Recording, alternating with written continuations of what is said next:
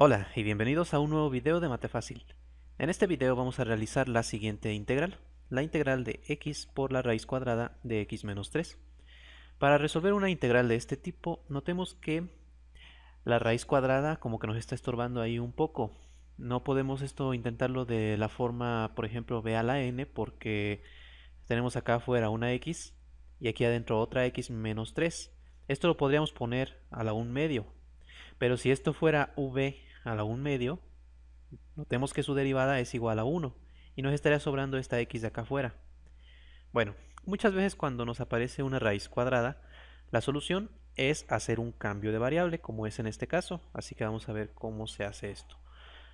Lo que nosotros queremos aquí es deshacernos de esta raíz cuadrada, que es la que nos está causando problemas.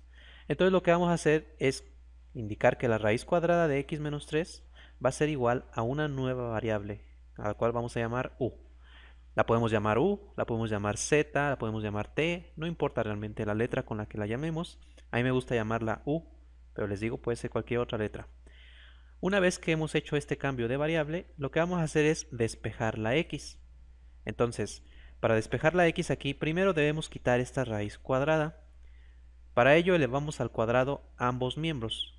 Si elevamos al cuadrado aquí, el cuadrado con la raíz se cancela y acá nos queda u al cuadrado. O en otras palabras, la raíz cuadrada pasa como un cuadrado. De esta manera, x menos 3 va a quedar igual a u cuadrada. Ahora ese 3 que está aquí restando lo pasamos sumando y tenemos que x es igual a u cuadrada más 3. Entonces ya despejamos la x. Otra cosa que vamos a necesitar es obtener el valor de dx. Para ello vamos a derivar x. O sea, vamos a derivar esta parte de la derecha.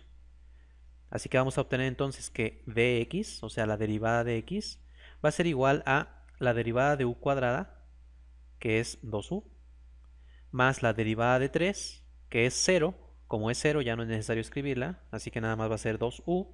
Y hay que agregar el diferencial de u. Eso siempre es necesario después de que derivamos aquí en estas integrales. Siempre hay que agregar el diferencial. Entonces agregamos el diferencial de u. Ahora sí, ya tenemos el valor de x, el valor de dx y el valor de la raíz de x menos 3, que bueno, nosotros nos inventamos una nueva variable. Lo que vamos a hacer ahora es escribir esta integral otra vez, pero haciendo todas estas sustituciones de aquí. Al hacer las sustituciones nos va a quedar esto de aquí. Noten, por ejemplo, aquí que x, dijimos nosotros que vale u cuadrada más 3. Así que en lugar de escribir x, escribí aquí unos paréntesis y puse u cuadrada más 3, que es lo que vale x.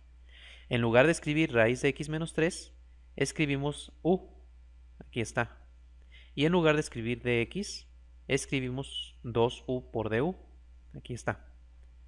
Entonces notemos que en esta nueva integral ya no aparece ninguna raíz cuadrada. Y de hecho es una integral muy sencilla. Para resolver esta integral lo que vamos a hacer es realizar la multiplicación de todo esto. Y simplemente vamos a usar una fórmula que nos va a llevar a la solución de una manera muy rápida. Vamos a empezar haciendo la multiplicación. Aquí tenemos una multiplicación de tres cosas. Conviene empezar multiplicando nada más dos de ellas y el resultado multiplicarlo por el tercer factor. Vamos a empezar multiplicando u por 2u. u por 2u nos queda 2u cuadrada, así que lo escribimos de esta manera. u cuadrada más 3 por 2u cuadrada de u.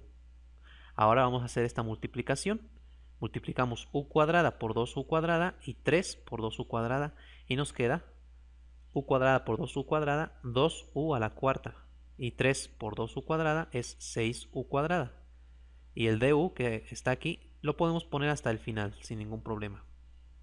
Ahora tenemos una integral de una suma lo separamos como una suma de integrales es decir la integral de 2u a la cuarta más la integral de 6u cuadrada Ahora lo que vamos a hacer es sacar las constantes que aparecen aquí. Este 2 lo sacamos y este 6 lo sacamos y nos queda dos veces la integral de u cuarta y 6 veces la integral de u cuadrada. Ahora aquí aplicamos la fórmula de b a la n, esta fórmula de aquí.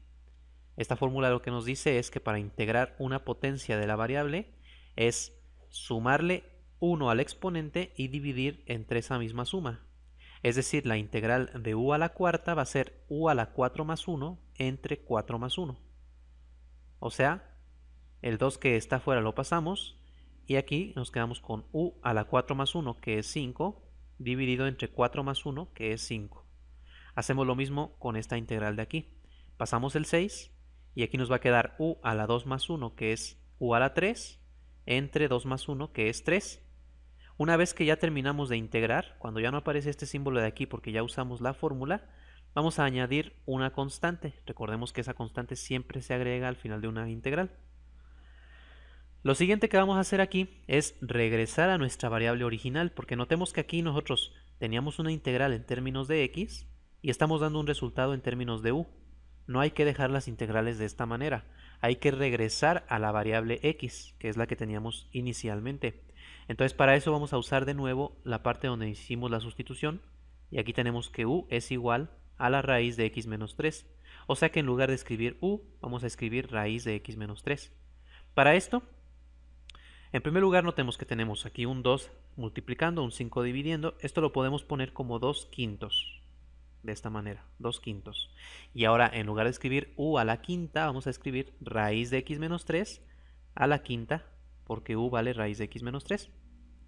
Vamos a hacer lo mismo con esta segunda parte. Aquí tendríamos 6 tercios, pero 6 tercios es lo mismo que 2 enteros, porque 6 entre 3 nos queda 2. Así que escribimos simplemente más 2 y en lugar de escribir u cúbica ponemos raíz de x menos 3 elevado al cubo. Y finalmente agregamos nuestra constante de integración y con esto hemos terminado esta integral. Ahora, ese resultado que acabo de escribir aquí no es la única manera de expresar este, este resultado. También este 5 que aparece como exponente afuera, podríamos haberlo puesto aquí adentro, aquí poner unos paréntesis en el x menos 3 y poner el 5 aquí, y aquí un paréntesis en el x menos 3 y poner un 3 aquí, y sería exactamente lo mismo. Otra manera en la que se podría expresar este mismo resultado sería poniendo x menos 3 entre paréntesis a las 5 medios en lugar de escribir la raíz y aquí lo mismo a la 3 medios en lugar de escribir la raíz. Son formas equivalentes para escribir el mismo resultado, ambas, bueno, todas ellas son correctas, pero bueno, yo prefiero dejarlo de esta manera y este es entonces el resultado final. Si tienen alguna pregunta sobre algún paso de esta integral, con toda confianza déjenla en los comentarios y yo en cuanto pueda hacerlo les contestaré. También si tienen alguna otra integral que estén intentando realizar y no les sale, no encuentran cómo hacerlo, propónganla en los comentarios y se las resuelvo en video. No olviden suscribirse a mi canal, apóyenme dándome un like y gracias por ver este video.